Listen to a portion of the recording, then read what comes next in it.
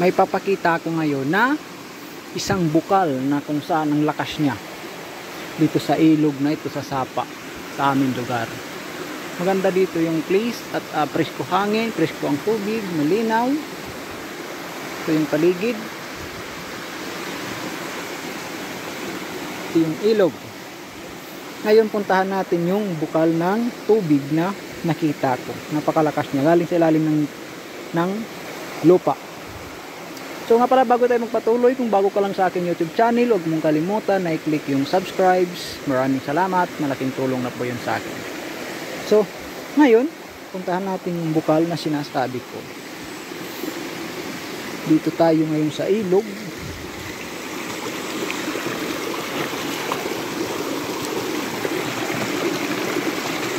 Malapit-lapit tayo na.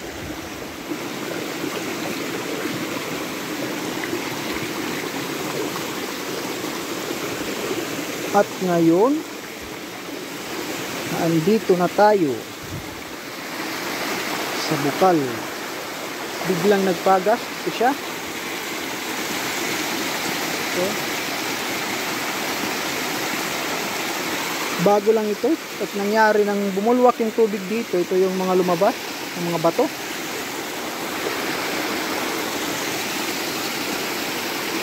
Tapos kung gaano ito kalakas. Ayan o. Oh.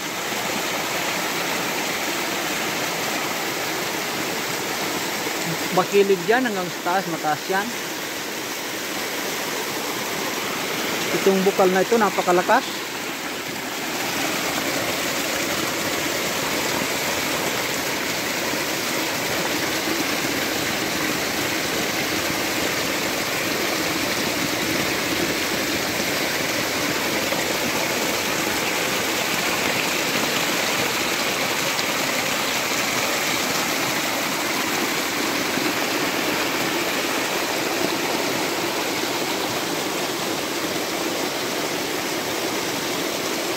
lalong lumalakas ang tubig dito. Nung nagtag-ulan kasi nagsulputan itong mga bukal na to.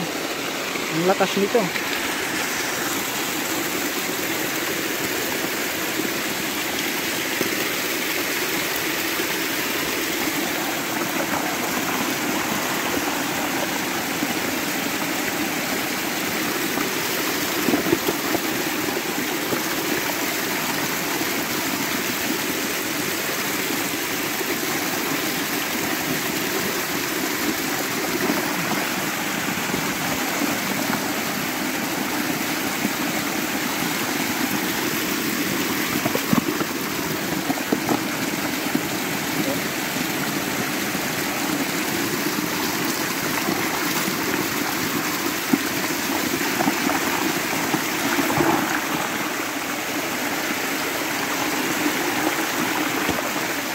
pag ganito kasi posible ang landslide pag walang mga puno sa taas.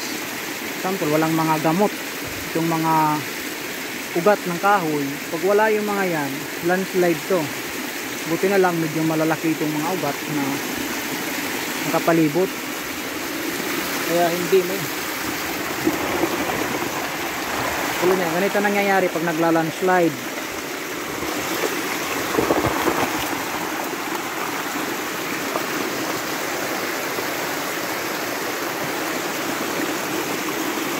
napakalakas ng bukal na to. Hindi natin alam kung saan nagaling ang mga tubig na to